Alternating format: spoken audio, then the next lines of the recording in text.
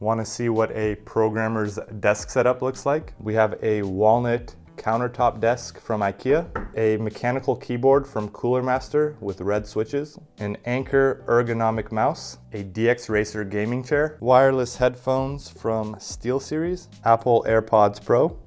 a key wireless charger,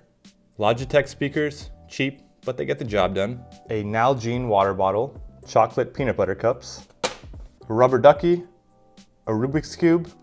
and a plant, a USB drive that I got for free at a career fair, a Lenovo T14 laptop for work, a gaming PC with decent cable management,